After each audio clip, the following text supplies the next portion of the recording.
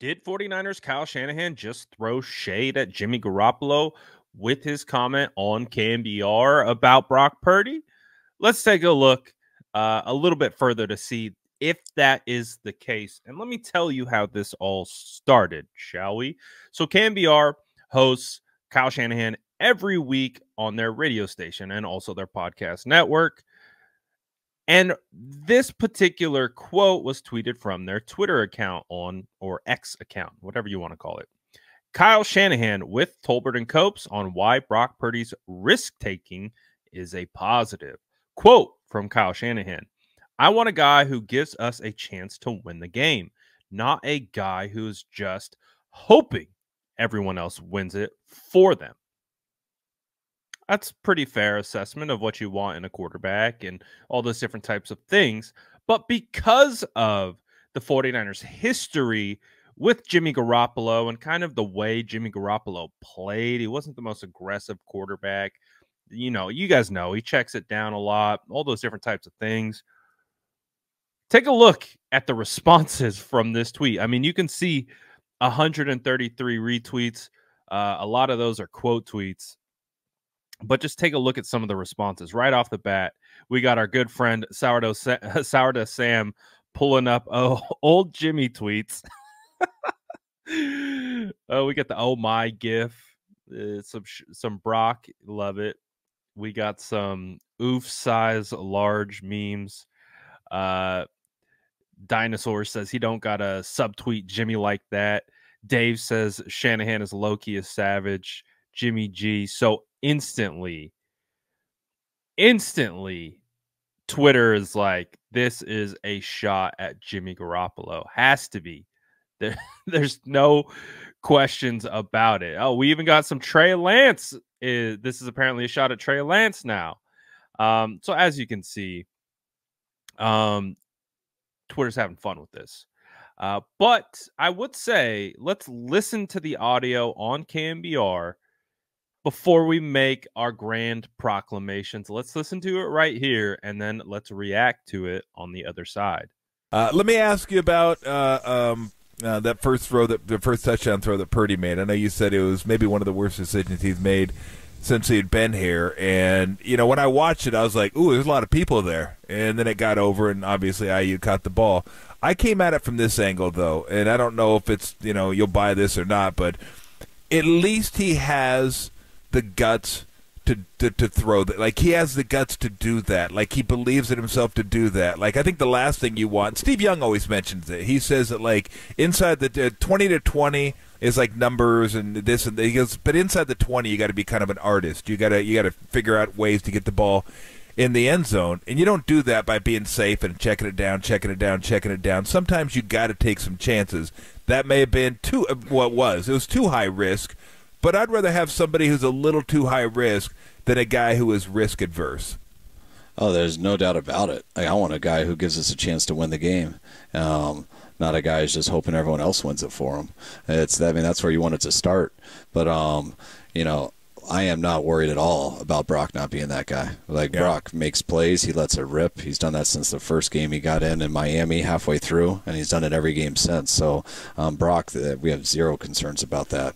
Um, Brock sometimes when if we're down to stuff, he's not going to take what's given because he's going to do whatever he can to make plays to get us back in. So like he's everything you want in that aspect. Um, but what's cool about Brock is he does see things. He is um, he has that poise. He can't talk to you when he comes to the sidelines, and he knows when it's a bad play too. Yeah. And that one to me wasn't as much of it's kind of there. It's like what the hell are you doing that isn't there? Oh my God, we are the luckiest people ever. and that's to me what was the little bit bothersome bothersome about it, but yeah. um, you know, he doesn't have too many of those. But he makes a yeah. lot that are kind of there and he doesn't sit there and think about it all. He doesn't hesitate. He will let it rip, and um, we expect that from him because he's so consistent with it. That one was just a little bit different, but like I said to him after I got all my words out of the way, I said, "Oh, and by the way, thank you very much for the touchdown. We love touchdowns. um, I mean, that's that's great. If I was a fan, I'd buy his jersey after the play, but you just know um, that's not going to last too long if you do too many of those, and um, and he doesn't do too many. Yeah. What what was he trying to do? Because he said he was trying to fake him out by you know getting his head one way or like trying to get the DBs to think he was going one way, and the wide receivers were supposed to pick up, or well, and Kittle were supposed to pick up on it.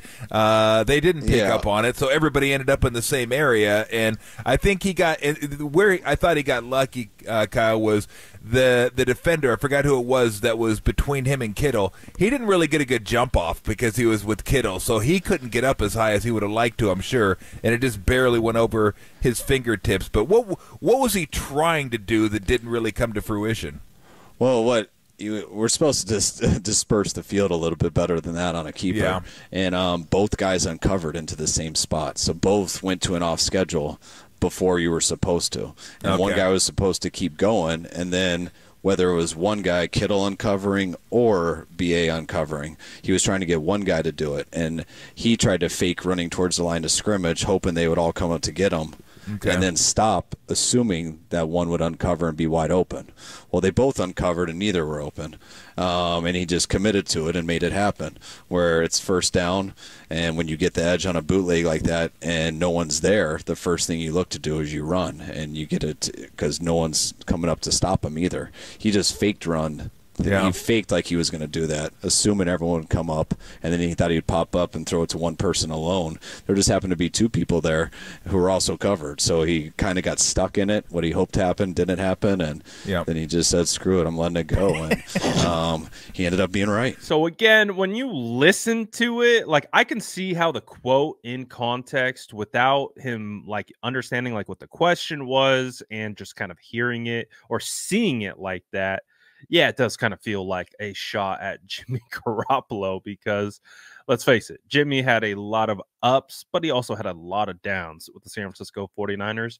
And, you know, 49er fans feel a certain type of way about Jimmy and Jimmy's time with the team. And so when you see it without context, yeah, it does kind of look like maybe some shade uh, at Jimmy. But when you listen to the question, that Tolbert posed, and then you listen to the answer from Kyle Shanahan. I don't think it was necessarily shade at Jimmy Garoppolo. I don't think it had anything to do with Jimmy Garoppolo or really any other quarterback for that matter. It really did just feel like this is what we want. Brock has that, and opposed to what we don't want. Um, we would much rather have Brock Purdy take shots, take chances, put him put himself in a position to win games and do that himself and not let other people do it for him. Um, which is exactly the way Brock Purdy plays. Uh, he he really does put this offense on his shoulders and drives him down the field. So, two things.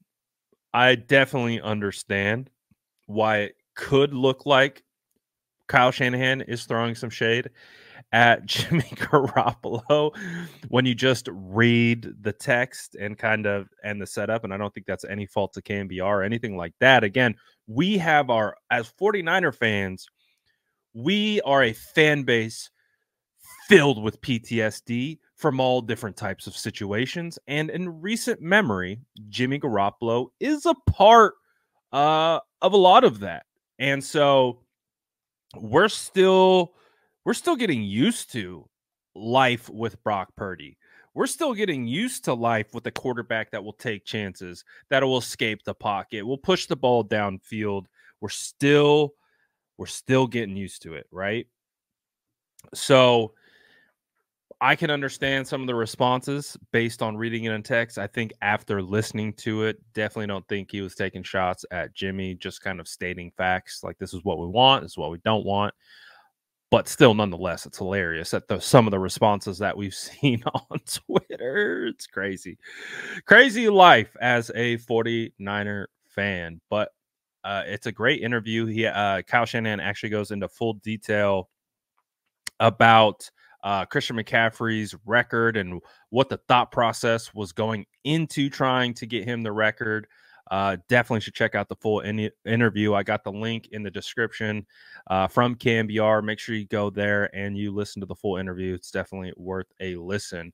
But what do you guys think of this whole situation of Kyle shading Jimmy Garoppolo? Is he shading Jimmy Garoppolo?